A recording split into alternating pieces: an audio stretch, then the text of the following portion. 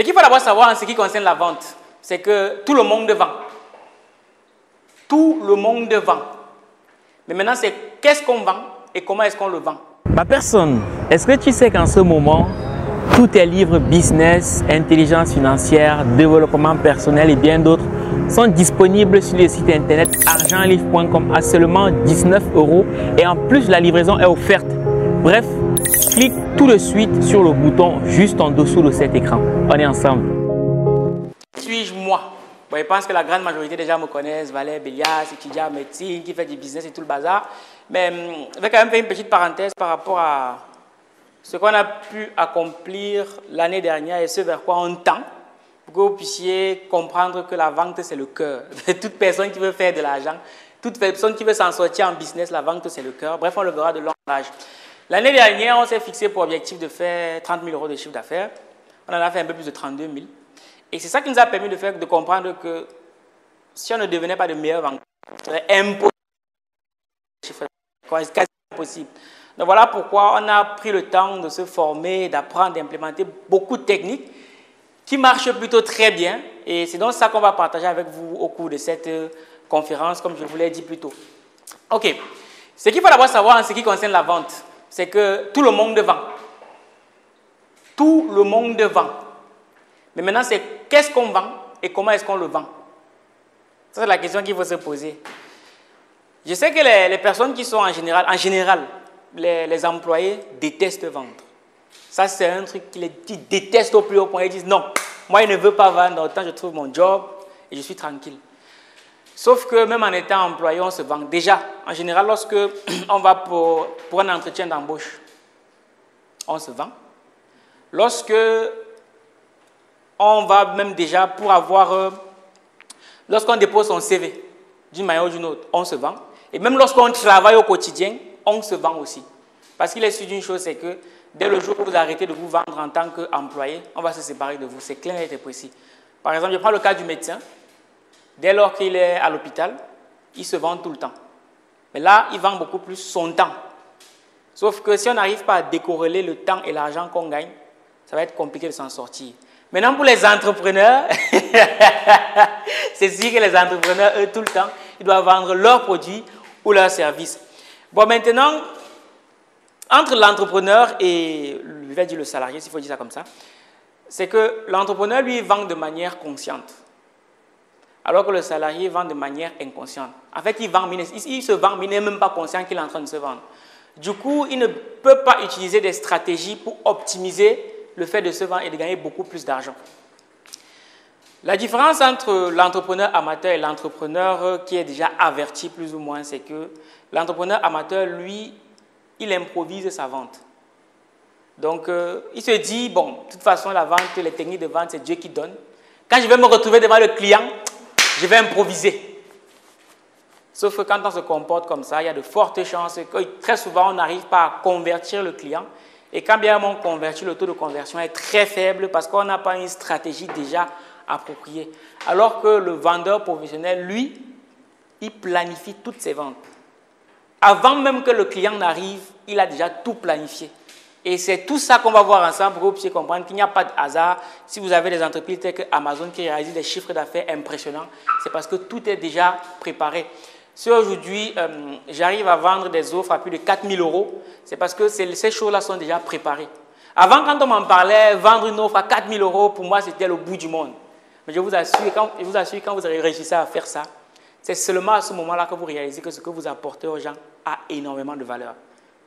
Passer 45 minutes au téléphone avec quelqu'un et lui vendre un truc à 4 000 euros, 5 000 euros, 6 000 euros, c'est énorme. C'est énorme. Mais pour ça, tu ne peux pas improviser ce genre de, de, de, vente-là, c'est impossible. Vendre un truc à 15 000 euros, 20 000 euros, 30 000 euros, tu ne peux pas l'improviser. Il y a tout, un canevas pour le faire. On appelle le high ticket. Tu as entendu parler du high ticket? Le reste, vous ne connaissez pas le high ticket. Ah, ok, je suis content de vous faire découvrir quelque chose.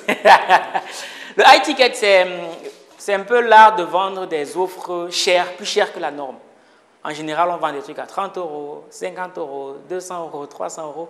Pourtant, on peut aller beaucoup plus loin. Est-ce que vous savez qu'il y a des gens avec qui vous discuter avec eux pendant une heure, on paye 15 000 dollars Ma personne, est-ce que tu sais qu'en ce moment, Tous tes livres business, intelligence financière, développement personnel et bien d'autres? Sont disponibles sur le site internet argentlivre.com à seulement 19 euros et en plus la livraison est offerte. Bref, clique tout de suite sur le bouton juste en dessous de cet écran. On est ensemble. 15 000 dollars. Est-ce que vous imaginez? Vu que moi j'ai su ça, ça m'a bousculé. Mais pour arriver jusque-là, il faut avoir des stratégies très avancées. Je ne vais pas vous montrer comment on fait ça, parce que je ne sais pas. Mais on arrête de travailler pour y arriver. Je ne sais pas comment le faire. ok. Donc, on va voir cinq bonnes raisons pour devenir un bon vendeur. Parce que moi, j'aime à dire que si on ne sait pas pourquoi est-ce qu'on fait ce qu'on fait, c'est dangereux. Donc, la première raison, c'est que si vous ne vendez pas, du moins, si vous ne vendez pas consciemment, vous serez le gibier de tous les vendeurs. Parce que depuis notre plus tendre enfance, on nous vend quelque chose. Quand tu vas à l'école, l'école te vend les cours. Je ne sais pas si vous vous en rendez compte. Parce que l'école, c'est un business. On ne le dit pas, mais l'école, c'est un business.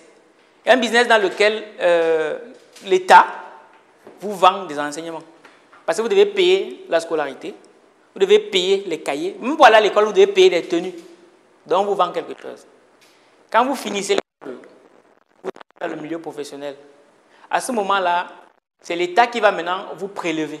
Quand vous commencez à travailler, en France, je pense qu'on connaît les impôts. les impôts prélèvent. Quand tu as ta, ta maison, le bailleur te prélève. Toi, tu n'as rien à vendre. Comme ils n'en suffisaient pas, là je vais choquer certains, c'est que même à l'église, on nous prélève. Même à l'église, on nous prélève. Parce que chaque fois qu'on va à l'église, le, pasteur, ce qui n'est pas mauvais, hein, le pasteur nous vend.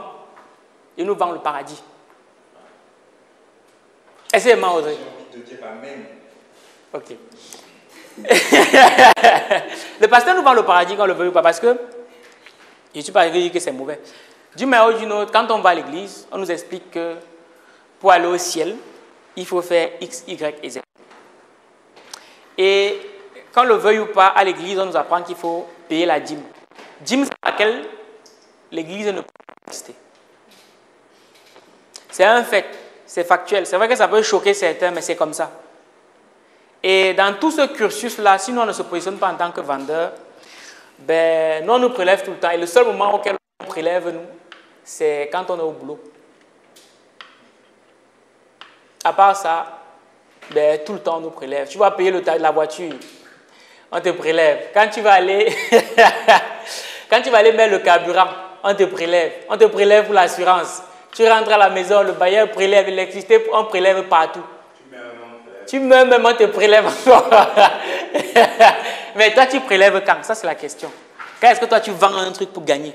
Ma personne, est-ce que tu sais qu'en ce moment, tous tes livres business, intelligence financière, développement personnel et bien d'autres sont disponibles sur le site internet argentlivre.com à seulement 19 euros et en plus la livraison est offerte.